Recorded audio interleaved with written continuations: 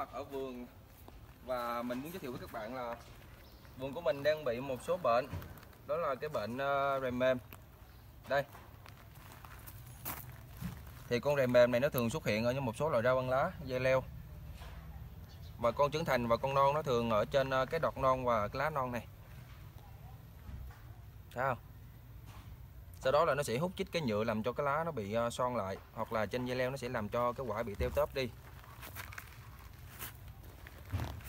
Thì thường thời tiết ít mưa hoặc là nắng khô.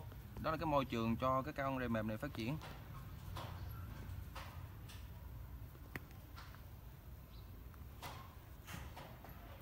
Còn một số biện pháp phòng trừ thì ờ, mình có thể cắt bỏ đi những cái đọt nó bị bệnh này sau đó mình phát quang cho vườn nó thoáng.